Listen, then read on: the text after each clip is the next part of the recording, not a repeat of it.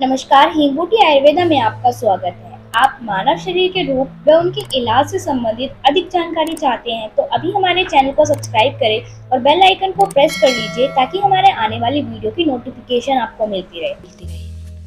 बारिश का मौसम शुरू होते ही कई गंभीर बीमारियों का खतरा बढ़ जाता है। बारिश की वजह से इन्फेक्शन और डेंगू बुखार जैसी समस्याएँ ज़्यादा फैलती है। इस मौसम में बच्चे भी ज़्यादा बीमार पड़ते हैं। बारिश में जरा सा भी भीगने के बाद बच्चे फ्लू का शिकार हो जाते हैं। दरअसल, बच्चों के शरीर की रोग प्रतिरोधक क्षमता कमज़ोर होती है। इसकी वजह से बारिश में भीगने के बाद बच्चों के बीमार होने का खतरा ज़्यादा रहता है। इस मौसम में बच्चों को बीमार होने से बचाने के लिए पेरेंट्स को विशेष सावधानियों का ध्यान रखना चाहिए। बारिश के मौसम में बच्चे अक्सर भीग जाते हैं या बाहर मिट्टी में खेलने लगते हैं। इससे बच्चों में इन्फेक्शन वायरल बुखार मॉनसून फ्लू जैसी परेशानियाँ हो जाती हैं। आइए, इसमें हम विस्तार से जानते हैं बारिश के मौसम में बच्चों को मॉनसून फ्लू से बचाने के टिप्स मॉनसून फ्लू से बच्चों को कैसे बचाएँ? बारिश के मौसम में मॉनसून फ्लू के अलावा कई अन्य बीमारियों का भी खतरा रहता है। इस मौसम में मच्छर तेज़ी से पनपते हैं। इसके कारण मच्छर जनित बीमारियों का खतरा भी बढ़ जाता है। रोग विशेषज्ञ कहते हैं कि इस मौसम में होने वाली बीमारियों से बच्चों को बचाने के लिए उनका टीकाकरण होना बहुत ज़रूरी है। इसलिए डॉक्टर बच्चों को फ्लू शॉट्स लगवाने की सलाह देते हैं। बच्चों को मॉनसून फ्लू और इस मौसम की बीमारियों से बचाने के लिए इन बातों का ध्यान रखें।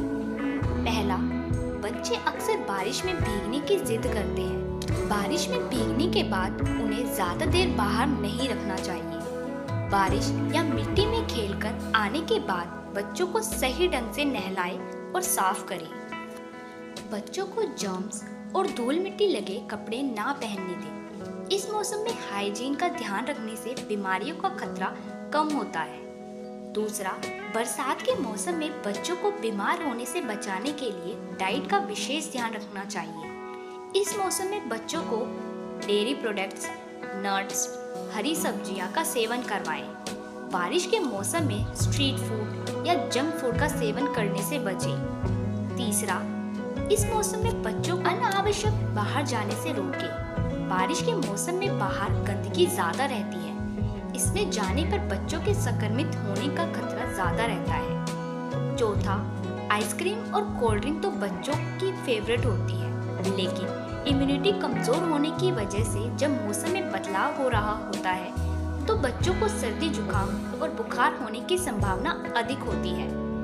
बदलते मौसम में आप इन तरीकों को अपनाकर बच्चों की सेहत का ध्यान रख सकते हैं। अगर बच्चा बीमार पड़ता है तो ऐसे में तुरंत डॉक्टर से संपर्क करें, क्योंकि बच्चों के मामले में लापरवाही करना ठीक नहीं, क्योंकि कई बार आपका बच्चा कई अन्य कारणों के चलते भी बीमार पड़ सकता है। बच्चों के आहार में बदलाव करने या उसे किसी भी तरह की दवाइयाँ देने से पहले डॉक्टर पर परामर्श करना ज़रूर, क्योंकि वह आपके बच्चे की जाँच करने के बाद आपको यह बेहतर तरीके से बता सकते हैं कि आपके बच्चे के लिए क्या सही है। दोस्तों, आप हमारे चैनल को देखते रहें लाइक करें सब्सक्राइब करें, अपने दोस्तों को शेयर करें। जिससे ज़्यादा से ज़्यादा लोग स्वास्थ्य लाभ प्राप्त कर सके। हम समय समय पर आपको अनेक औषधियों के बारे में, बीमारियों के बारे में जानकारी देते रहेंगे। धन्यवाद।